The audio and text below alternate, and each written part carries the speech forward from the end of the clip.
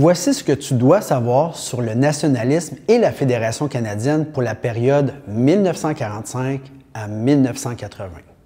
Comment les indépendants... J'ai la misère, excusez. Comment les indépendants... Comment les indépendants... Pourquoi je Qu'est-ce que le néo-nationalisme? Dans les années 40, le clérico-nationalisme est encore populaire dans les milieux intellectuels québécois. Cependant, avec les changements qui bouleversent les mentalités d'après-guerre, plusieurs penseurs délaissent peu à peu ce type de nationalisme qui repose sur des valeurs traditionnelles comme la foi catholique et la valorisation du mode de vie agricole. Ils proposent de faire place à un nouveau type de nationalisme. De là, le suffixe néo qui veut dire nouveau. Selon eux, ce n'est plus à l'Église qu'il faut se fier pour agir comme catalyseur du nationalisme, mais bien à l'État qui pourra contribuer à améliorer les conditions des Québécois et Québécoises sur le plan économique, social et culturel. Avec la Révolution tranquille des années 60, le néonationalisme devient prépondérant. Dorénavant, les francophones du Québec ne se désignent plus comme Canadiens français, mais comme Québécois, un terme qui englobe toute personne habitant le Québec, mais qui exclut par le fait même les francophones vivant ailleurs au Canada. Alors que la religion disparaît des préoccupations des nationalistes, la défense de la langue française demeure un enjeu primordial. Dans ce contexte, il apparaît naturel que les nationalistes veulent donner au Québec une place importante sur le plan international. C'est pourquoi le gouvernement ouvre dans les années 60 et 70 des délégations du Québec à l'étranger. Qu'est-ce que l'indépendantisme? Certains néo-nationalistes sont toutefois d'avis qu'une présence accrue de l'État n'est pas suffisante pour garantir l'affirmation du Québec face à la domination anglophone. Dans les années 60, un nouveau mouvement émerge chez les néo-nationalistes.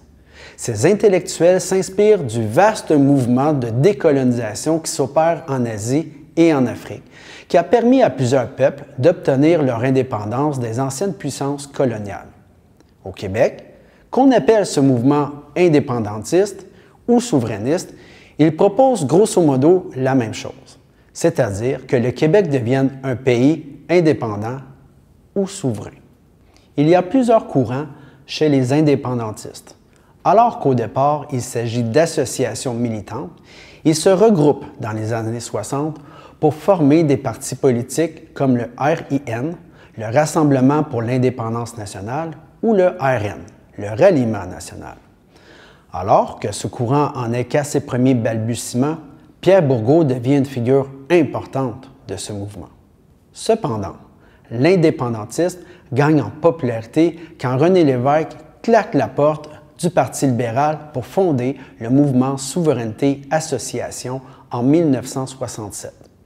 Ce mouvement deviendra le Parti québécois en 1968, quand il fusionnera avec le RN, et que le RIN fera le choix de se dissoudre.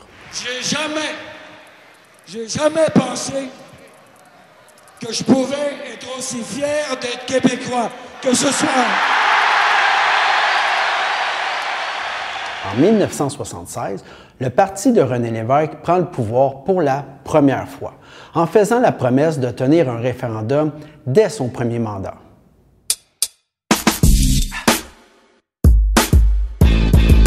Qu'est-ce que la crise d'octobre? Certains indépendantistes ne croient pas que l'action politique soit suffisante pour que le Québec puisse accéder à son indépendance et, en 1963, forment un groupe radical, le Front de libération du Québec, appelé communément le FLQ. Ses moyens d'action sont nombreux et le FLQ n'hésite pas à utiliser le terrorisme pour arriver à ses fins. Jusqu'en 1970, il organise plusieurs attentats visant des symboles de la domination anglo-canadienne et du capitalisme américain. En octobre 70, le FLQ cherche à frapper un grand coup et enlève le diplomate britannique James Richard Cross. Ils n'obtiennent que partiellement ce qu'ils revendiquent, Alors, quelques jours plus tard, c'est au tour du ministre québécois Pierre Laporte d'être enlevé, ce qui déclenche une opération policière d'envergure, auquel même l'armée canadienne participe. Le 16 octobre, le gouvernement Trudeau invoque la loi sur les mesures de guerre, ce qui mène à l'arrestation de près de 500 personnes, un geste qui alimente encore aujourd'hui les débats. Laporte est retrouvé mort alors que le Cross est libéré quelques semaines plus tard, ce qui met fin à la crise d'octobre. Le FLQ se dissout au début des années 70.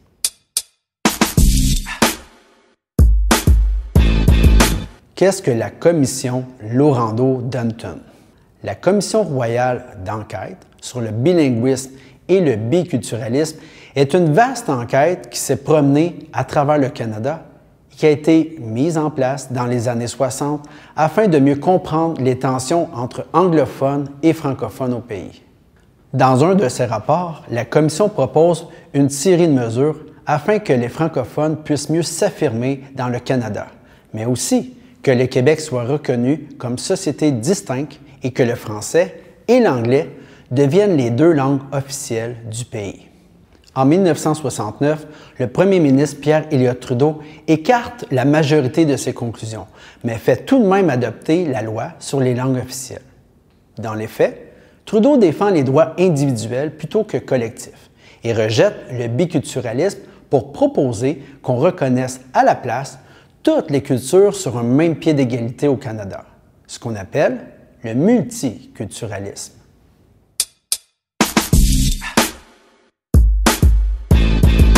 En 1970, le dossier de la Constitution est-il un enjeu? La Constitution de 1867, l'acte de l'Amérique du Nord britannique, est toujours sous contrôle de Londres, après la Seconde Guerre mondiale. Il faut se rappeler que la Constitution est la loi principale d'un pays. Autant le gouvernement canadien que le gouvernement québécois considèrent qu'il faut ramener le document au pays, c'est-à-dire le rapatrier pour pouvoir le modifier et le moderniser sans avoir à passer par Londres. Par contre, tous ne s'entendent pas sur le moyen à prendre pour y arriver ainsi que dans quel ordre le faire. Les gouvernements de l'Union nationale et du Parti libéral du Québec désirent que la province demeure à l'intérieur du Canada et participent donc à cette tentative de renouveler le fédéralisme canadien. Dans la lignée de la pensée néo-nationaliste, il cherche également à faire reconnaître par le fédéral un statut particulier au Québec en tant que société distincte qui serait inscrit dans la Constitution. C'est dans ce contexte de recherche d'autonomie du Québec que se déroulent les différentes rondes de négociations constitutionnelles dans les années 60 et 70. Une de ces rencontres fédérales provinciales se tient à Victoria, capitale de la Colombie-Britannique, en 1971. Dans ces négociations, Trudeau tient à inclure dans la nouvelle Constitution une charte des droits et libertés ainsi qu'une formule pour déterminer comment la Constitution pourra être modifiée dans le futur. Or, le Québec rejette finalement la charte de Victoria puisqu'elle ne prévoit pas de nouveaux pouvoirs pour la province. Bref, c'est un retour à la case départ pour l'enjeu constitutionnel. Voilà ce que tu devais savoir sur le nationalisme et la Fédération canadienne pour la période 1945 à 1980.